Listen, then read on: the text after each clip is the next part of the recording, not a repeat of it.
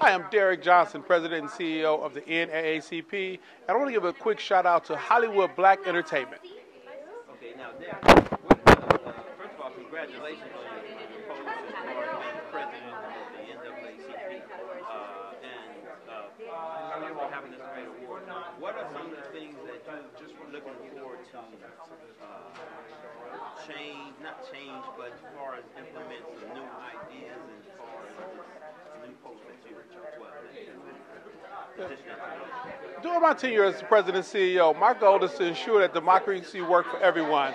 Uh, not only is the presidential elections important this year, but the arc of democracy over the next five years is also important. We're going to be faced with the reality of choosing who's going to be the commander in chief, choosing who's going to control the Senate, determining the outcome of the census process, making sure that the redistricting process is accountable, and the public policy that flow from all those things represent the needs and interests of our community.